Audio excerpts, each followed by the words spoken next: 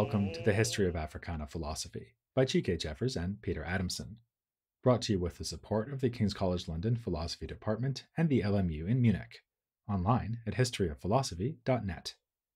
Today's episode Pilgrim's Progress, Alexander Crummell. If you hang around with mathematicians, you may have heard the phrase Erdős number. It refers to Paul Erdős, a prolific and brilliant mathematician who wrote many collaborative papers.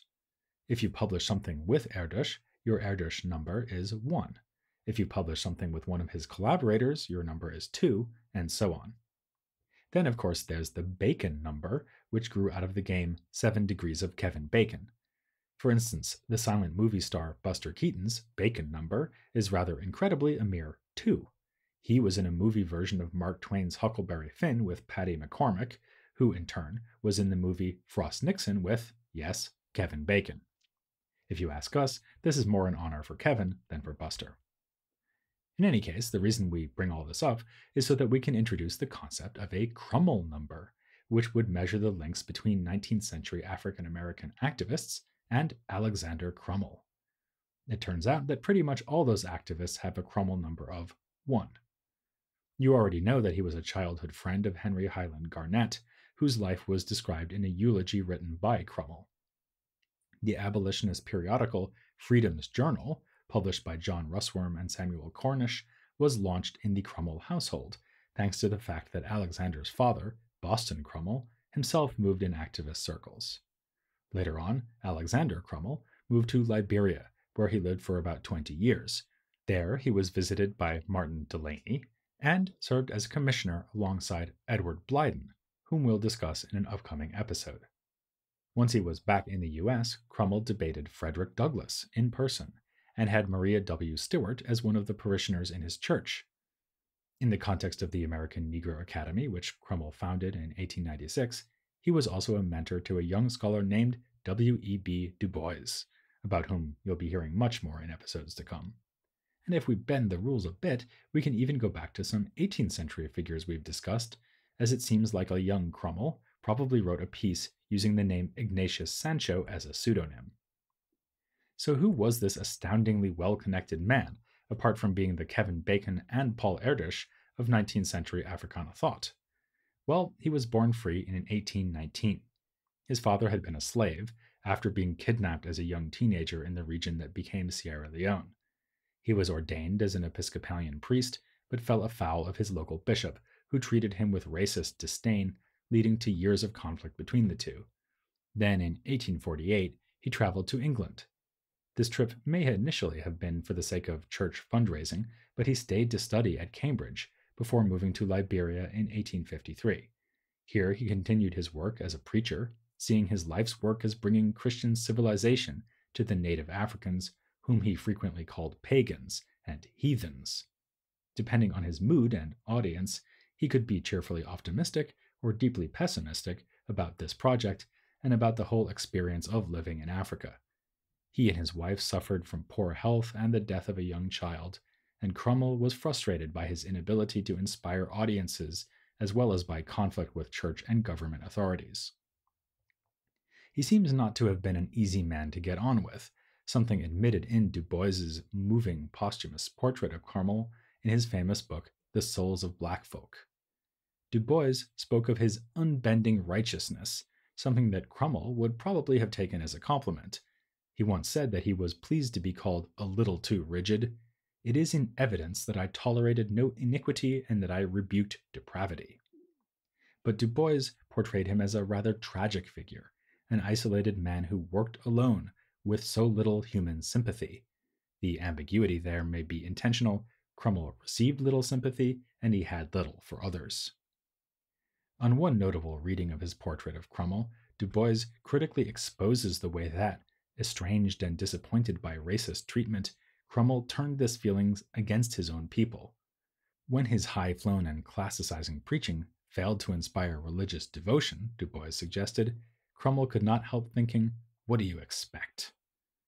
In another age, wrote Du Bois, he might have sat among the elders of the land in purple bordered toga, but his intellectual refinement did not make him a celebrated figure. Similar remarks were made in his own lifetime. Frederick Douglass ruefully remarked that the homespun approach of Sojourner Truth meant she was more readily quoted than a learned man such as Crummell. The Bishop of Liberia, who sparred with Crummell almost as much as his counterpart back in New York, remarked with dry understatement that he was no popular preacher. Like Kevin Bacon's movie career, then, Crummell's career as a religious leader provoked mixed reviews. He was admired for his learning, but his Cambridge education, which gave him a mastery of classical languages and his constant harping on the value of civilization, could also make him seem an elitist who was out of touch with the real needs of both Africans and African Americans. He would have vigorously rejected this charge. For one thing, that same education gave him special insight into the problems faced by the victims of slavery and colonialism. Already as a youngster, while being educated at the Oneida Institute, along with Garnet, he fell under the influence of Beriah Green. Green communicated to Crummell the ideals of European Romanticism, as found in the writings of figures like Johann Wolfgang von Goethe, Thomas Carlyle, and Samuel Taylor Coleridge. Then, during his time in England, he came into contact with the still living tradition of Cambridge Platonism and learned moral philosophy from the works of figures like Joseph Butler and William Paley works he would recommend to students in Liberia, along with those of John Locke, Francis Bacon, and other philosophical luminaries. All this gave him the basis for a metaphysical objection to racial injustice. To enslave a human is to treat an immortal, immaterial, and free soul as if it were a mere physical object to be owned. In keeping with this, Crummell thought it an eminently practical and indeed urgent undertaking to bring black people to a higher level of moral, intellectual, and above all, religious development. He said that under slavery, our natures have been dwarfed and our souls shriveled. Indeed, he agreed with David Walker, Martin Delany, and others who believed that African Americans were unique in the level of the oppression they suffered, asserting that they were the most forlorn and degraded races of human beings on the face of the globe. Though he insisted on the potential and innate talent of black people, he despaired over their degraded and benighted condition. It seems manifest to me that, as a race in this land, we have no art, we have no science, we have no philosophy, we have no scholarship. Until we attain the role of civilization, we cannot stand up and hold our place in the world of culture and enlightenment. And when in Liberia, he had a similarly bleak assessment of the situation there. I found there great crudities and sad anomalies. How could it have been otherwise? Was not Liberia the fruit, the product of slavery? Did not its illiteracy and its immorality spring directly from the plantation? From his correspondence, we know that he often struggled with his family life, church politics, and recalcitrant parishioners in Africa, but such evidence is balanced by far sunnier passages in his writing. He assures us that he is never disappointed by the Liberians admires the natural thriftiness and sexual restraint of the people there, as well as their talent for economic trade, and he's amazed by their beauty. Unlike the physical inferiority, at times repulsiveness, he claims to have seen among African Americans, the African natives had beautifully pure complexions, each of them an erect, finely proportioned, well developed, symmetrical, and a noble being. In a single passage that encapsulates his own mixed reviews of the African locals, he goes within a few sentences from calling the Vey people industrious, highly intelligent, polite, and spirited, to lamenting the deep degradation of heathenism among them. But this was no contradiction. What Crummell admired in Africans and optimistically believed was still preserved among African Americans was immense potential for becoming truly civilized and cultivated. What did he mean by this? That's an easy question to answer because civilization is one of his favorite themes. At one point, he simply equates civilization with schools and religion, and elsewhere he defines it in part as follows I mean by it the clarity of the mind from the dominion of false heathen ideas. I mean by it the conscious impress of individualism and personal responsibility.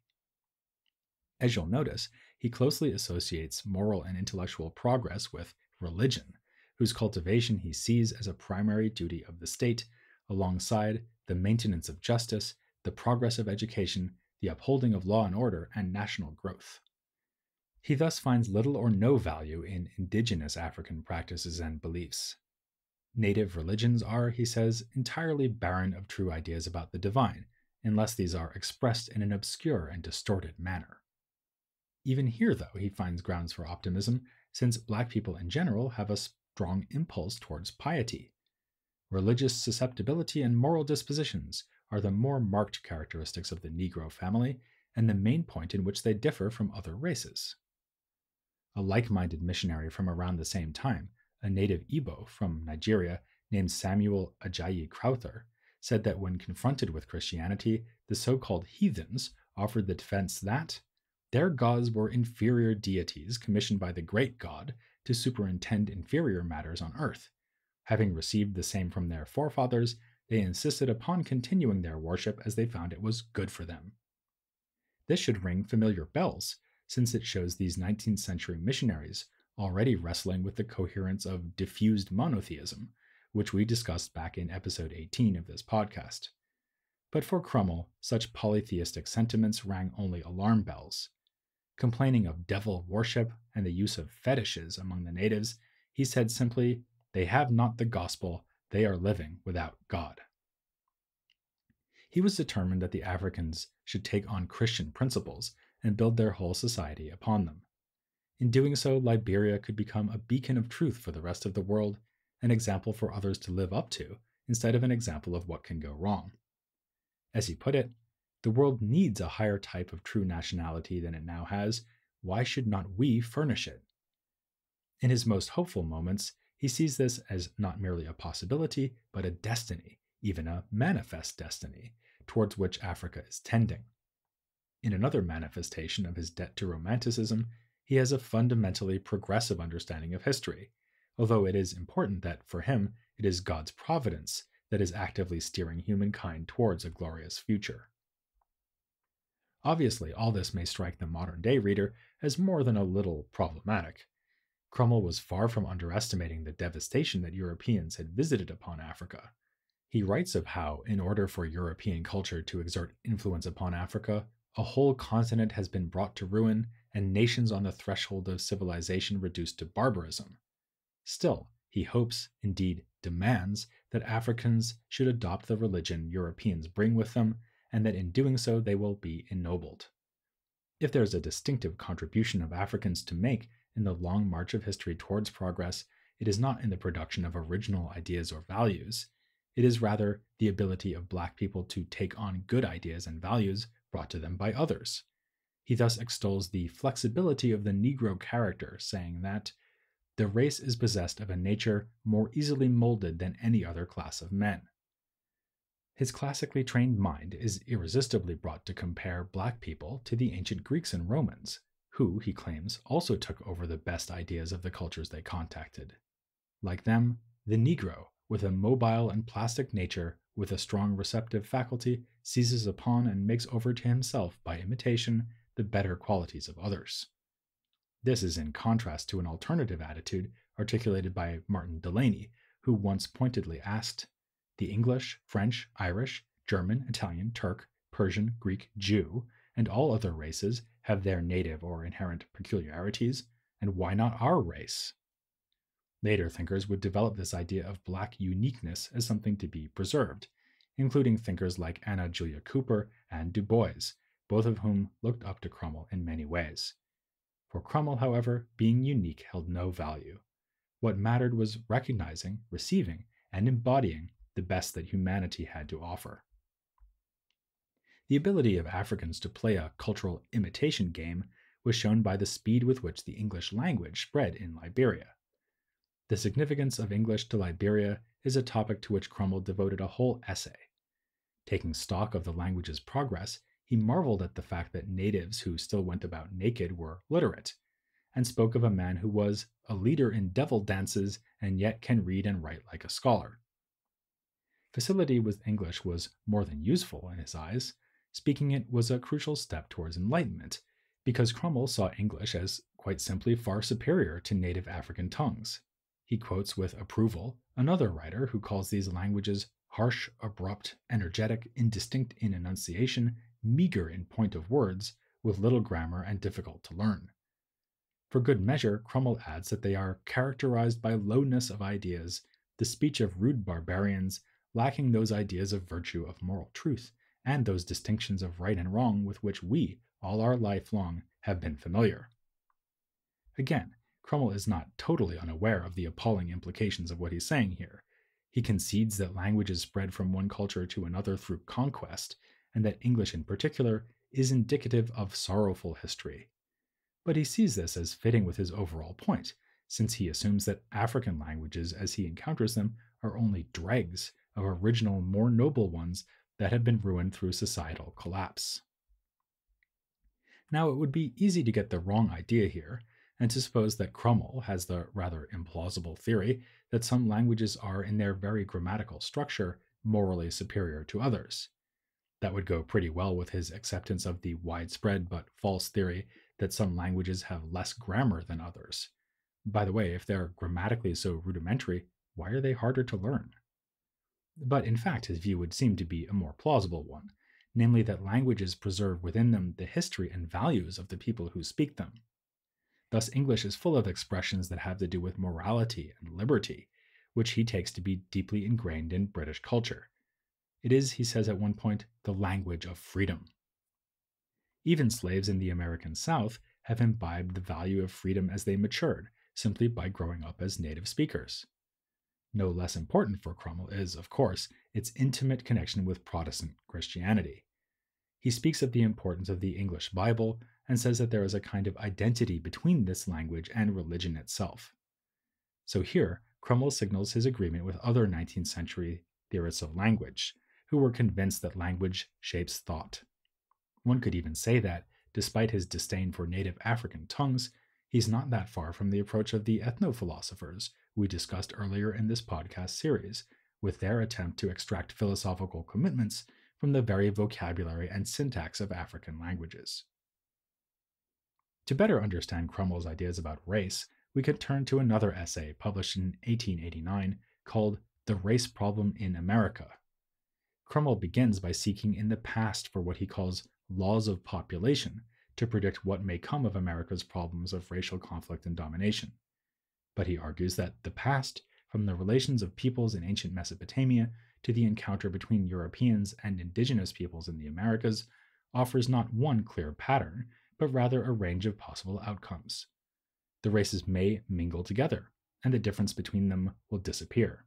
There may be conflict, resulting in the expulsion or eradication of one of the races, or they may remain in the same place and achieve peace while nevertheless remaining separate.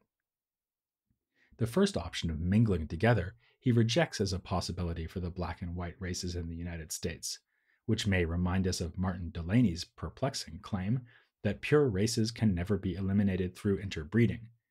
Crummell's argument is scientifically less ridiculous, though. He claims that intermixing has almost always been the result of white men raping black women, and that the free black population will never willingly undergo amalgamation with the majority race. Still, he is, as much as Delany, committed to the notion that differences between races are of divine origin. He defines a race as a compact homogeneous population of one blood, ancestry, and lineage, and as this suggests, he thinks that races can be compared to families and even identified as large families. They have every right to hold on to their unique identity just as smaller families perpetuate themselves. Since America is going to continue to have the two separate races, then, the problem becomes the distinctively moral one of how they will live together in amity. To his mind, there can be only one answer the complete and entire civil and political equality of all the peoples of this land. The fulfillment of this goal through the democratic participation of all, instead of the oligarchic domination of one race over the other, will demonstrate God's hand in history. Here we can see Crummell, now late in his career, transposing ideas he developed in his years in Liberia for use in an American context.